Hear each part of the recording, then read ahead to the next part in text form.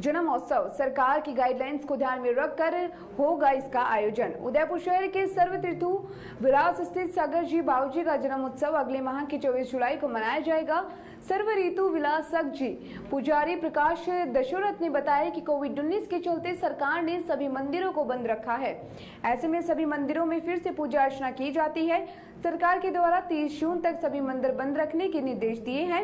यदि 30 जून के बाद सरकार मंदिर खोलने के निर्देश देती है तो आगामी 24 जुलाई को सगस व्यास जी के जन्म उत्सव बड़े ही धूमधाम से मनाया जाएगा। उन्होंने ये भी कहा कि जन्म उत्सव को सफल करने को लेकर कमेटी के द्वारा कई महत्वपूर्ण निर्णय भी लिए जाएँगे। इसके अलावा सरकार की गाइडलाइंस को ध्यान में रखकर ही जन्मोत्सव मनाया जाएगा।